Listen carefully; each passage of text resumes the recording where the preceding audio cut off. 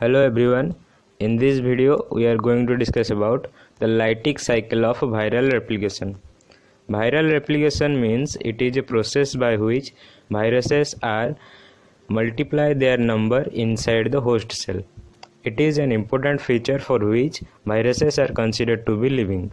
This process is best understood in phage viruses. It is found that some double-stranded DNA viruses can reproduce by two methods. One is lytic cycle, another is lysogenic cycle. So in this video, we are going to discuss about the lytic cycle of viral replication. This lytic cycle of viral replication is so named because the phage multiply and ultimately kills the infected host cell. The term lytic refers to the last stage of viral reproduction cycle during which the bacterium lyses or breaks and releases the phage that were produced within the cell. Then we will discuss the sequential stages of lytic cycle. The first stage of lytic cycle is host recognition and adsorption or attachment. The first step of its attachment of the surface of host cell. First, the T4 virus or phage virus comes and attach to the host cell that is your Escherichia coli. The phage recognizes the host cell through its tail fibers that binds to specific receptor that is lipoproteins on Escherichia coli wall or Escherichia coli cell wall. This chemical interaction is called host specificity. The next stage of lytic cycle is penetration. After attachment, Phage DNA is put into host cell by penetration.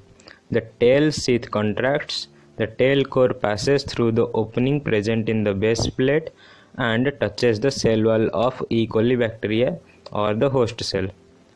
An hydrolytic enzyme called a lysozyme present in the tail core which hydrolyzes the peptidoglycan layer of the bacterial cell wall and creates a hole in it.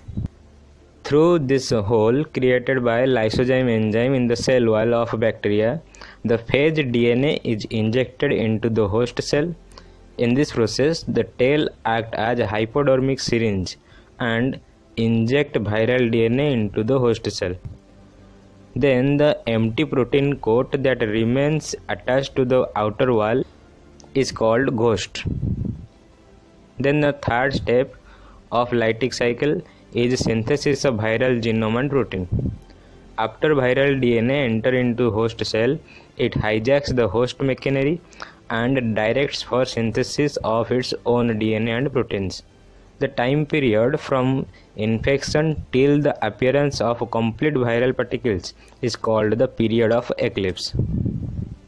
Then the fourth stage is their maturation process. Viral proteins get self-assembled to form phage heads, tails and tail fibers. The phage genome is packaged inside capsid and attached to the tail forming complete matured virions. After complete mature viruses are formed, the last stage of lytic cycle comes and it is the release of newly phage viruses.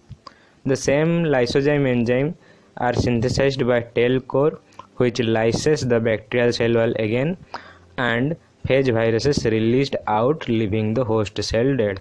So in this process a host cell that is E. coli bacteria is used by T4 phage viruses to multiply their number and in the last stage these host bacteria become dead. So this is the lytic cycle process we discussed. Thank you everybody